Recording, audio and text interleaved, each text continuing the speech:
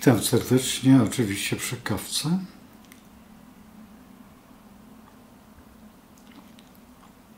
Mam nadzieję, że dzisiaj mamy 5 sierpień, ale nie daje mi spokoju pełen, pewna rzecz. Pełnia, która e, była, o to jest ta pełnia, to jest 1 sierpień, godzina 20.31.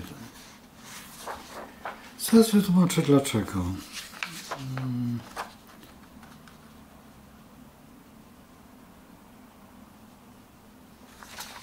Wszystko w porządku, tylko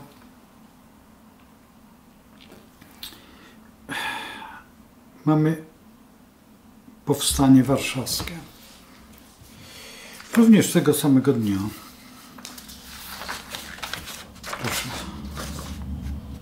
Wiemy o tym, że pierwszego. I co ma wspólnego ta pełnia z tym, z tym powstaniem? Dla mnie jest to najciekawsze, e, dlaczego akurat w ten dzień i pełnia ponieważ e, zawsze są jakieś zbiegi okoliczności, które o czymś nam mówią. To jest ta droga, którą wczoraj zrobiłem ten film e, na temat, no co tu ukrywać, ci, którzy poszli za Synem Bożym. I właśnie tutaj poznacie po znakach. Astrologia właśnie tak się bawi. Pełnia i powstanie warszawskie. Zwróćcie uwagę, że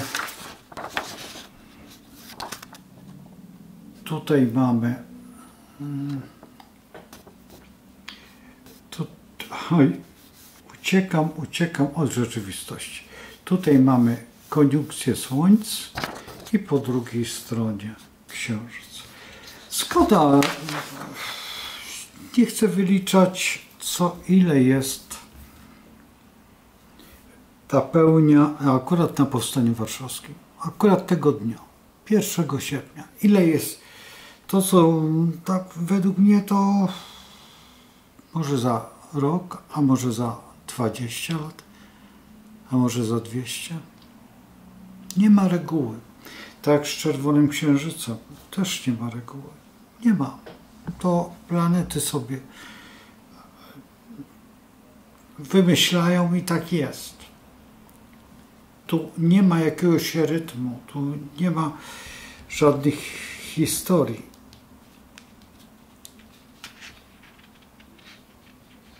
I to jest właśnie najdziwniejsze. Ta pełnia jak widzicie o tutaj na dużym obrazku, ma taką charakterystykę, że akurat ascendent wodniku. Szczerze mówiąc, ja nie przepadam za tym ascendentem wodniku, bo wodnik to taki przyjaciel wszystkich i nikogo, a właściwie taka, można by było powiedzieć, wypowiedź do no donikąd. Jeżeli patrzymy na Słońce, akurat znajduje się w dładzie Skorpiona. Powstania Warszawskiego również. Wiemy, jak powstanie wyglądało i jak, e, jak się skończyło. Nie, nie można rozważać w tej chwili na ten temat, czy powstanie było potrzebne, czy nie. Ja uważam, że tak. Inni powiedzą, że nieprawda, bo zginęło mnóstwo ludzi. Gdyby nie zginęli, zginęliby. Ja chylę się do, do tej teorii, żebyśmy byli taką, krótko mówiąc, Białorusią i byśmy byli wcieleni do Rosji. Myśmy byli Rosją. Ponieważ strefa buforową stworzono NRD, zrobiono. Więc Polska właściwie była e, dzięki temu powstaniu stała się wolna, powiedzmy, że wolna. No, dzisiaj też jest wolna. Ale o tym w dalszej dyskusji. Teraz e, w 1944 roku ascendent akurat powstania e, warszawskiego wypadł w Strzelcu.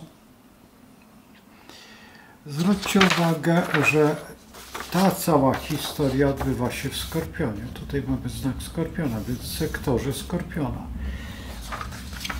Ofiar. Ta pełnia z kolei no nie ma mm, tak wiele wspólnego ze Skorpionem, ale ma sporo mm, tutaj z wagą, tak. Waga i w dodatku lew i panna, czyli trzeba by brać pod uwagę, co to jest lew, a co to jest panna, no i w tej chwili jest lew. Wtedy też był oczywiście lew, tylko gdzie Ja wiem, że mówię bardzo trudnym językiem, takim bardzo zagadkowym, nie, do, nie dokończę, ale nie chcę dokończać. Dlaczego? Dlatego, że jeszcze powinniśmy brać pod uwagę mm, Polskę. I teraz Wam pokażę tutaj właśnie Polskę. I teraz popatrzcie sobie, że powstania warszawskiego słońce jest. A tutaj jest to tej pełni. Zwróćcie uwagę, że w tym najtrudniejszym sektorze, sektorze Polski, czyli ofiar, ryb, to najbardziej smutny sektor ze wszystkich sektorów. Mało tego, że smutny, to jeszcze w tym momencie proszę zwrócić uwagę, że po drugiej stronie mamy księżyc. Księżyc polski i księżyc tej sytuacji, która jest teraz, bo to koło jest tej właśnie pełni. I zwróćmy uwagę na jeszcze jedną rzecz, która jest bardzo istotna, że tu jest descendant, a tu jest ascendant. I teraz zwróćcie uwagę, to jest w pierwszym sektorze. Więc ta pełnia ma wielkie znaczenie. Teraz pytanie. O co tu chodzi? Księżyc reprezentuje ludzi. Wodnik właściwie można by powiedzieć, że ku radości to akwawite, czyli świeżą wodę, albo nowe czasy, albo nową epokę, albo nieznane. Tutaj też jest, trzeba przyznać na szczęście, gdy mm, bierzemy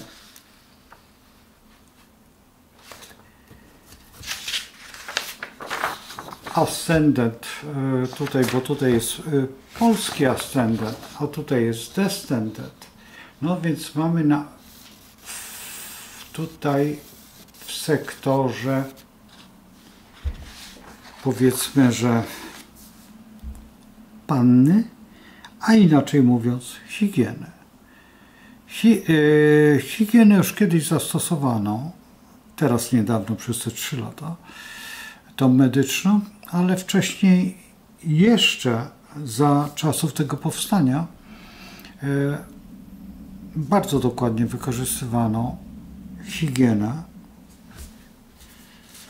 i taką naprawdę higienę yy, prawdziwą. Teraz zwróćcie uwagę. Ta, to jest powstania warszawskiego, a to jest higiena. I też jest księżyc. Z tym, że tutaj jest w pierwszym sektorze, a my mówimy o tym, ale tu jest uran. Gdybyśmy prześledzili sobie historię, to wówczas byśmy się zorientowali, że Uran nie jest taką miłą planetą i żadna z planet nie jest miłą. Od tego trzeba rozpocząć. Ale wówczas bardzo dobrze współpracował e, z Plutonem, czy Uran, ta planeta oczywiście, to takim nieczysto polskim, a w tej pełni Uran również współpracuje z Plutonem, tylko że wtedy Uran był w sekstylu, a teraz jest Uran w trygonie. Czy sekstyl jest zły, czy dobry? Ani jedno, ani drugie nie jest e, złe, a w rzeczywistości, czy jest dobre, czy my tego po prostu nie zauważymy. Wtedy nie zauważyliśmy. Zginęła, e, zginął właściwie kwiat młodzieży. A teraz co? No bo nie zauważymy. Jeżeli bierzemy sekstel, tak? Czyli jest to odcinek tak samo interpretowany jak i trygon. To nie jest ten tak zwany ujemny czy negatywny, jak niektórzy lubią. A jednak trygon przy niezauważeniu, oj nie zauważyłam i jestem w ciąży. Dzisiaj no, 500 albo 800, jeszcze wyprawka. Ale to jest wpuszczanie społeczeństwa właściwie. Fakt faktem, że bardzo dawno temu Kościół mówił, że my coraz mniejszym krajem stajemy się. To jest prawda. Ja pamiętam, kiedy jeszcze w 63, 65, w 80 już ostrzegano zambony, że coraz mniej dzieci się rodzi mimo wyżu, z którego przypuśćmy ja jestem. Ten wyż odbił się, bo żeśmy stworzyli, ale nawet nie w połowie.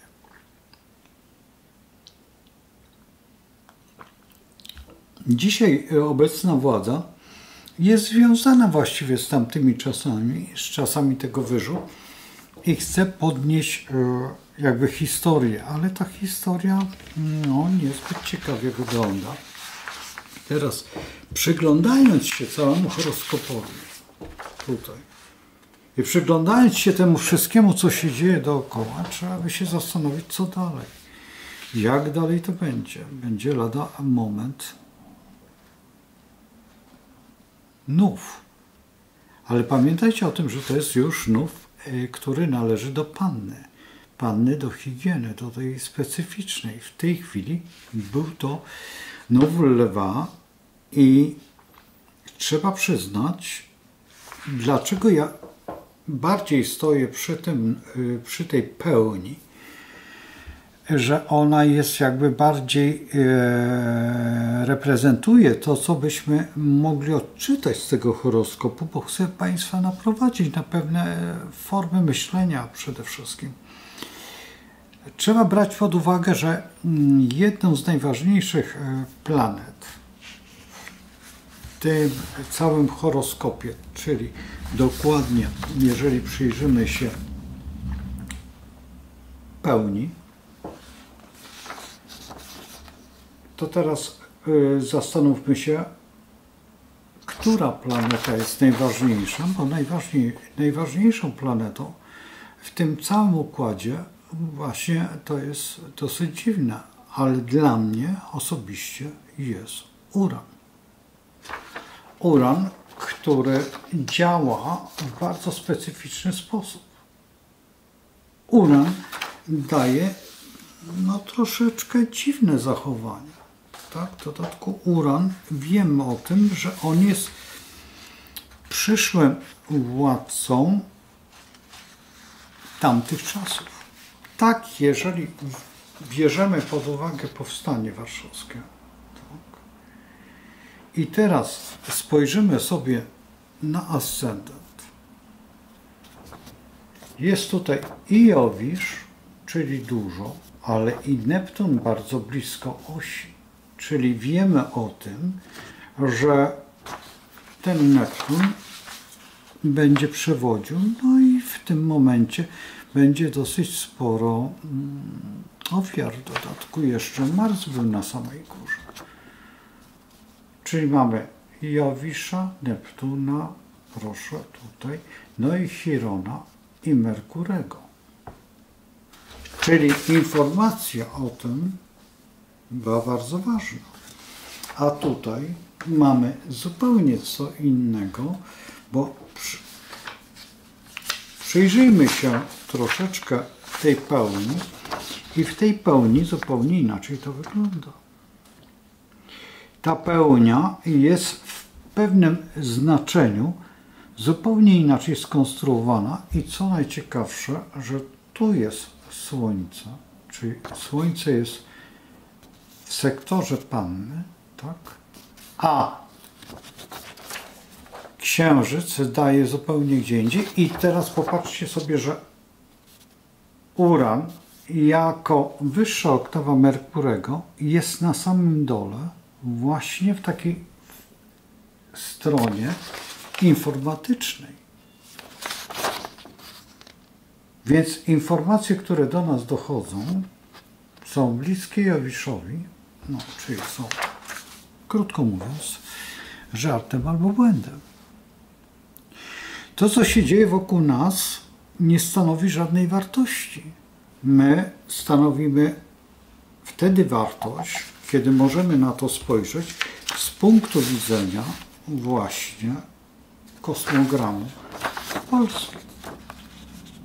Teraz popatrzmy sobie, że akurat ten Jowisz, Jowisz i Uran są w najważniejszym sektorze filozofii polskiej. I teraz dopiero mamy rozgrywkę, którą na przykład niektórzy nie pojmują, nie dochodzą do tego, że a po co pan mówi o tym, co to ma do rzeczy, to jest tylko kartka papieru, przecież to są głupoty, a jeszcze w dodatku astrolog zacznie opowiadać, ale czy on bierze pod uwagę wszystkie aspekty, jakie są, dotyczą tego zjawiska i czy wybrał sobie z kontekstu historii najważniejsze punkty, bo można by jeszcze wybrać mnóstwo.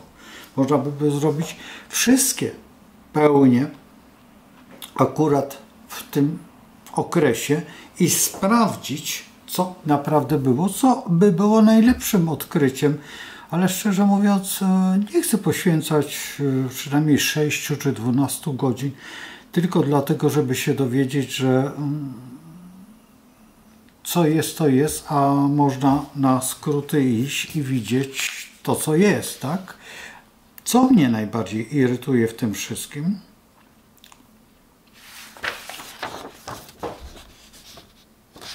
E, jeżeli do, dobrze się patrzy, przyglądacie, tutaj mamy ascendent, ale tu jest ten sektor skorpiona i tu jest Neptun.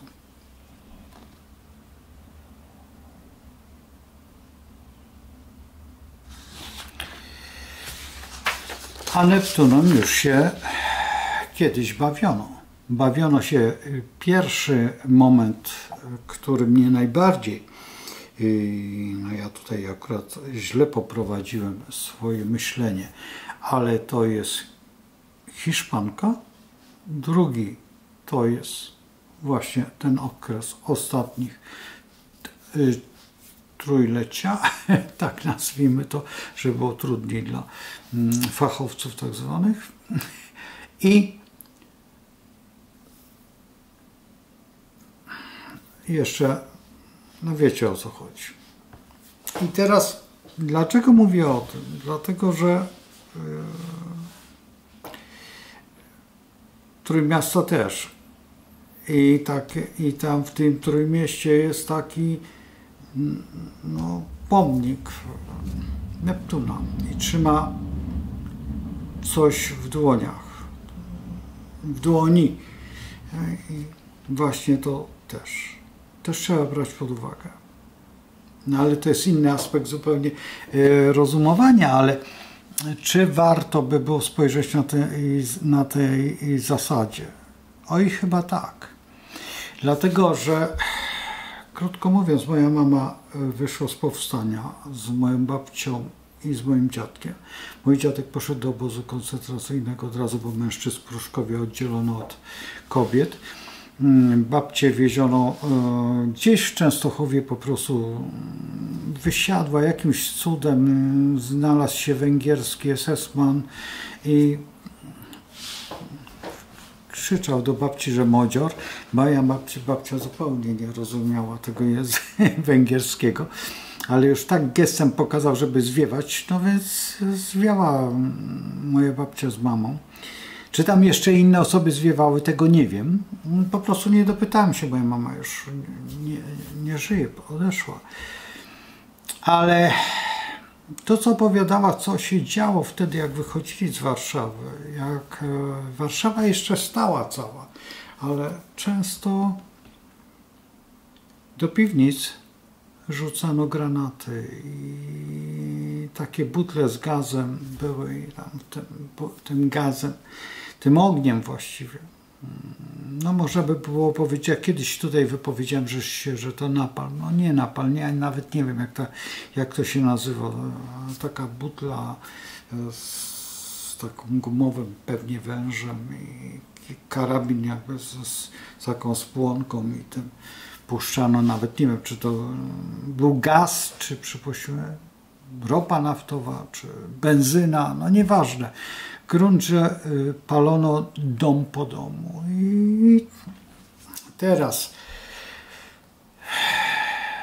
Warszawa nie była aż tak bardzo zrujnowana. Dopiero to e, rujnowało, ponieważ nie wiem kto dał ten rozkaz, czy Adolf Hitler, czy nie Adolf Hitler, żeby zburzyć zupełnie, zrównać tak, żeby nic nie było. No fakt, fakt, faktem, że Y, teren, y, miasto pozostawione na 10 lat, to już można nie wrócić do tego y, miasta, dlatego że nagle wyrastają jakieś drzewa. Ja zresztą akurat mieszkałem w takim miejscu, gdzie budynek się zawalił. I w ciągu dosłownie 15 lat wyrósł tam no, taki zagajnik, no, krótko mówiąc mały las. Gdyby to była większa powierzchnia, to dosłownie drzewko drzewka co 20 cm i to białe brzozy i pomiędzy nimi jakieś klony, jeszcze jakieś inne rzeczy. One nie, tak szybko nie rosną, ale dzisiaj e, przyroda robi swoje, tak? I teraz pytanie, kto to i co to? My przyjęliśmy te osoby, tak, i zrobiliśmy im, ponieważ oni są w konflikcie, konflikcie właśnie z tym wodnikiem i z tym wszystkim, a to powstanie warszawskie y, ja nie rozumiem, dlaczego nikt nie, y, znaczy, chodzi mi o to, że przede wszystkim, jeżeli to powstanie było, to było, ale tą Warszawę zniszczyli No i teraz co się z nimi stało? No wiemy o tym, że ich spakowano i oni wyjechali do za Niemcami, tak?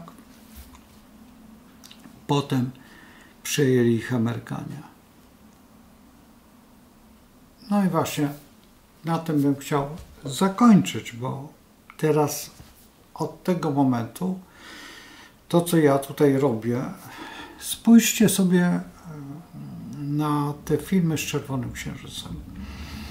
Tam, gdzie jest e, w tytule Czerwony Księżyc, ich jest chyba z pięć albo z sześć, jeżeli się nie mylę. Jeden jest bardzo ciekawy, bo pokazuje wszystkie daty po kolei Czerwonego Księżyca, mnie pokazuje to powstanie warszawskie teraz.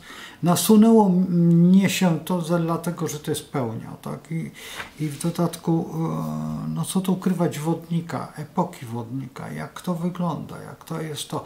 I w dodatku jeszcze, jeszcze jeden hak do, e, po prostu do myślenia, e, jak to.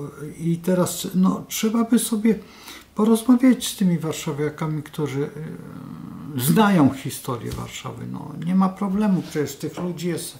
Mm, no, Warszawa była potężnym miastem. To nie jest tak, że y, to nie jest tak, że warszawiacy muszą znać Warszawę. Historia, historia jest nieobłagalna, historia nie zmienia się. Historia, jeżeli to jest tak zwany Mazak, i on jest dwustronny, tak, z jednej strony ma takie pędzelek, a z drugiej strony ma takiego bolca, to ten pędzelek do czego innego służy i ten bolec do czego innego służy, ale jest to mazak. I on jest e, czerwony, tak, tutaj widać, że on jest czerwony, o. a właściwie taki, czy to czerwień, to ja bym się bardzo zastanawiał, ale nie będzie czerwień. Zaznaczę na czerwono, oczywiście, tutaj widzicie, że ja też zaznaczam na czerwono niektóre rzeczy. I chciałbym Was naprowadzić na pewien tok myślenia. Pewien tok myślenia, który jest e, takim tokiem lekko niebezpiecznym, ale pamiętajcie o tym, że prawdomównym. Nie bać się słowa. Ja wiem, że tutaj ja nie mogę, ale pamiętajcie jeszcze o jednej rzeczy, że mm, sytuacja jaka jest, jest bardzo dziwną sytuacją, bo przecież co tu ukrywać, ja mm, akurat miałem swoje biuro, czyli tą pracownię swoją na Puławskiej, właśnie w tym domu, gdzie y, ojciec pana Kaczyńskiego dowodził e, tutaj właśnie tym rejonem. W tym domu mieszkała tylko jedna osoba, która była e, związana z Warszawą. Tak, proszę Państwa, tylko jedna osoba była związana z Warszawą genetycznie, czyli pochodziła z tej. Zresztą potem żeśmy się bardzo zaprzyjaźnili, bo dlatego, że no wiecie, jak to się patrzy na słoiki tak zwane. I ja akurat mówiłem dużo o moich przygodach w Austrii, dlatego że to był taki moment, Tutaj pacykowano klatki, likwidowano pewne rzeczy, robiono tak. Niedaleko był dom, oczywiście rozstrzelany. Ja mam nadzieję, że on jeszcze istnieje, że pojadę tam sfotografować go albo sfilmować, czy zrobić jakiś program o tym. To nie bardzo boli, bolą te warszawskie domy rozstrzelane. Słuchajcie, to jest coś niesamowitego. Kula od kuli jest no, ka kawiarka. No nie wiem, czy warto czekać, czy można było. Dosłownie, kula od kuli to jest co to. To teraz wyobraźcie sobie, że jesteście takim. To, I jak ktoś strzelał, to no, strzelali przede wszystkim Niemcy, tam Polacy też strzelali. Oczywiście, że jakby tam mieszkali Niemcy, to wszyscy strzelali na brzeg.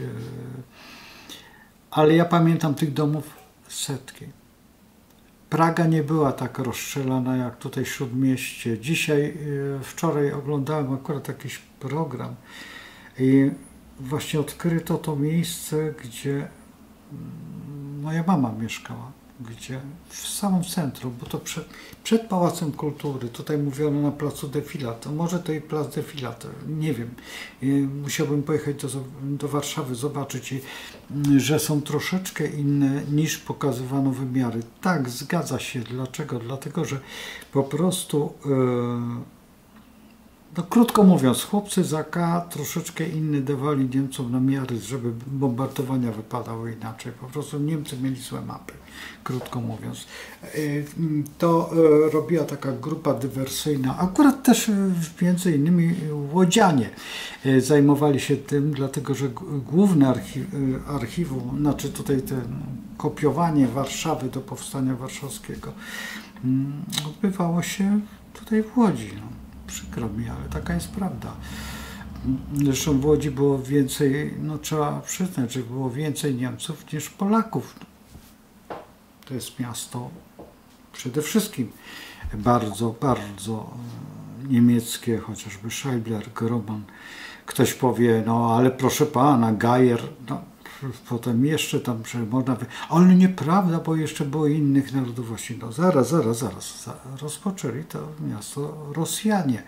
Mm, przede wszystkim tutaj na ulicy Żgowskiej Róg Dąbrowskiego była ta najstarsza fabryka Rosjanina, ale później rozwijali się, rozwijali to, bo ktoś powie, ale proszę pana, pan myli po Poznański. Nie, proszę Państwa, Poznański to zrobił zupełnie na czym innym pieniądze i gdzie indziej. E, rodzina e, Scheiblerów czy Gromanów to są e, bardziej Scheiblerów. Jest bogata już od zarania, bo oni przyjechali z Bielska. I oni tam też mają, mieli swoje fabryki. Mało tego jeszcze tutaj w Zgierzu y, y, osadzili się najpierw, dopiero tutaj przeszli. No i to. Jak to się trzyma do powstania warszawskiego? Trzyma się, dlatego że mm, po pierwsze na tym, akurat ja mieszkam w tym famule tutaj y, tej rodziny jest syrena. Tak troszeczkę była w tym roku, tak cichutko, tak delikatnie, jak e, były te, te, te inne obszary, to lepiej była. Ale zostawmy to wycie.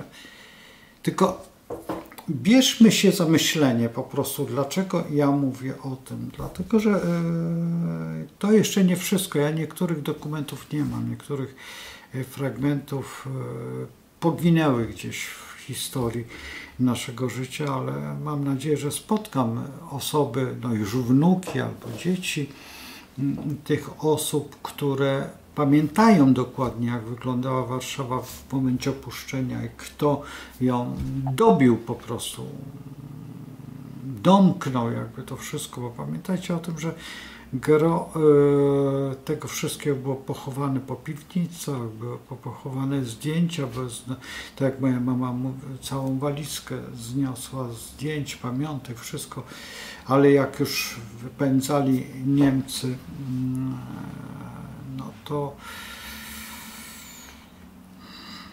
po prostu zostawiło się to wszystko, już nie było miejsca na te rzeczy, było miejsce tylko na życie. i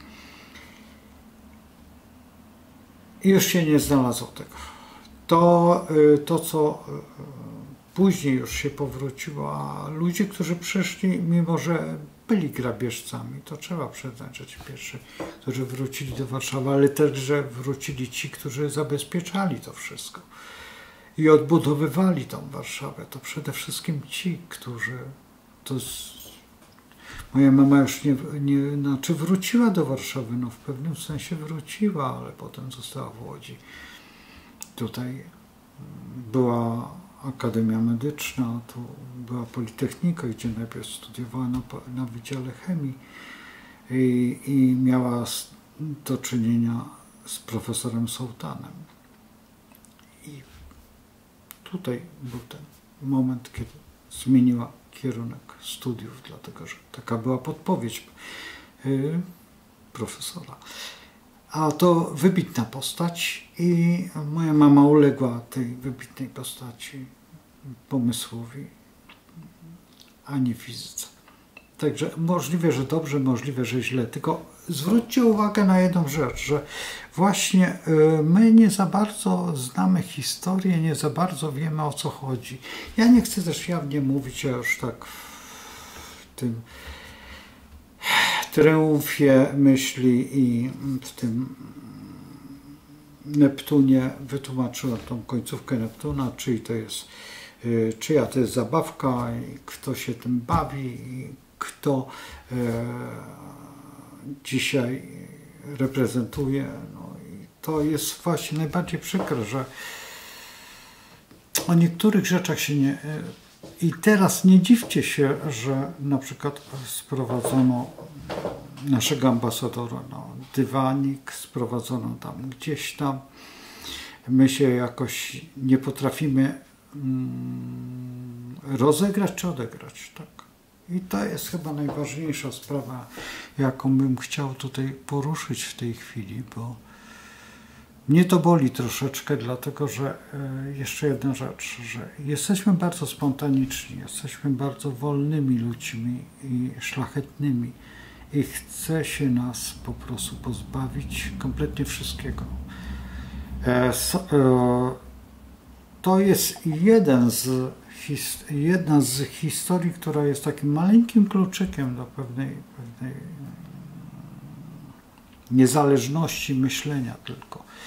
Po tych haczyków i tych, tych, tych kluczyków jest dosłownie cała walizka, bo ktoś powie, ale pan jest sentymentalny, ale pan jest taki, a pan jest taki, a jestem taki. E, nie jestem sentymentalny. Nie jestem e, człowiekiem, który jest nierealny. Tylko jeżeli widzę, że ktoś mimo e, czasu robi te same błędy, to, to mnie irytuje, bo znam astrologię i widzę, że e, tutaj znowuż nas stawia się przed ścianą tą ceglaną i za chwilę będzie się nas likwidować.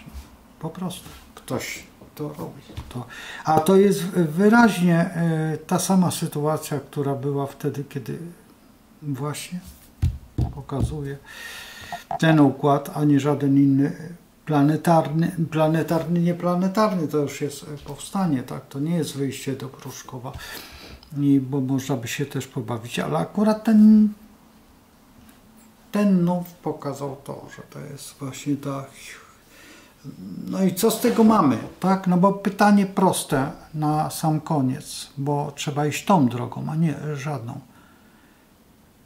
To powstanie warszawskie nikt nie wie o nim. Jest inne powstanie w Warszawie, które jest ważne dla świata, ale dla, dla mnie, gdzie ja straciłem dziadka, gdzie nie otrzymałem żadnego odszkodowania i nie otrzymali biorą do, do, do tej pory jakieś finanse mają, a ja nie. Ja wychowywałem się w czasach takich samych jak i ty i nie, nie czujesz tego tutaj, że w gruncie rzeczy skrobisz ścianę i masz swoją dziurkę, żeby mieć swoje wapno do budowania swojego organizmu, czy nie czujesz, że jesteś słabszy od innych? Nie czuję, że coraz bardziej ta ściana jest zżarta i wygląda dosłownie jakby korniki ją z, zjadły? Czy ty nie widzisz tego? Że ta ściana nadal w Warszawie jest rozstrzelana i nic się nie dzieje. Każdy przygląda tej ścianie. No było powstanie warszawskie. Tylko kogo? Czyje? I kto to zrobił? I dlaczego? I kto brał w tym udział? Kto osobiście, bo wiemy kto. Warszawiacy wszyscy wiedzą.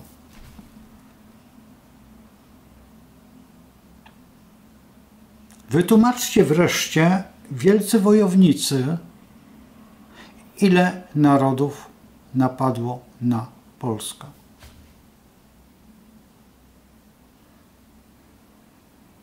Jest w internecie. Sobie wpiszcie w internet. Po prostu ja zrobiłem to zdjęcie.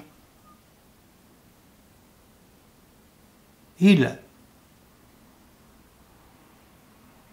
A kto nie? Niech nie ma czelności ktokolwiek mówić źle o nas. Jeżeli w ten sposób nie jesteśmy narodem wybranym, to jesteśmy narodem przegranym. Chcecie być przegranym? Trzymajcie się z Bogiem, żeby Was Bóg prowadził. Wczoraj mówiłem o jednym z apostołów. A dzisiaj pokazuję Wam tą drogę cierniową, którą, która nadal jest nasza. Przez nas samych.